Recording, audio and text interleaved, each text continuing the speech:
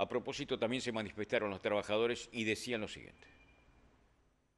Se resolvió por asamblea el día de ayer comenzar con la retención de servicio aquí en el Hospital Regional, por eso el aval, el apoyo de ATE Comodoro, este, en este caso, de todos los trabajadores hospitalarios. Eh, venimos a entregar la dirección, eh, dirección está sabiendo que comienza la retención de servicio en todos los sectores, así que se va a hacer nada más que la extrema urgencia, la urgencia, este, el código rojo. En eso por ahí este, el código amarillo eh, va a ser evaluado por el médico de la guardia y pasará a rojo, pero bueno, eso está haciendo el triage el, médico en el sector.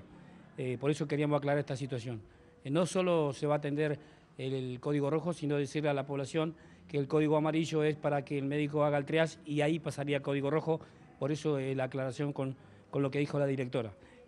nosotros, respetuosos de lo que los compañeros decidieron en la asamblea, vamos a acompañar este, a esta retención de servicio en el lugar de trabajo hasta que se cobre eh, los saberes y el aumento estipulado en paritaria, incumplimiento de ley del gobierno provincial. Así que... En este, este caso dicen que el 16 cobrarían, o hay una versión por lo menos que cobrarían 40 mil pesos eh, todos los agentes eh, provinciales. En este caso, ¿se levantaría allí la medida o, continuaría en este No, es, es, toda una incertidumbre porque hoy este, renuncia al ministro de Economía, Tarrió, este, una parte decía de desdoblar el sueldo, eh, de pagarnos todos una fecha, que no está la fecha, un monto y después nos pagarían el otro monto. Peor aún si quieren este, hacer el pago escalonado. Así que eh, querían pagar el día 16 hasta 40 mil, el día 23 hasta 65 y el día 29 de 65 para arriba, totalmente irregular. Así que nosotros, Comodoro Rivadavia, Ate Comodoro y toda la provincia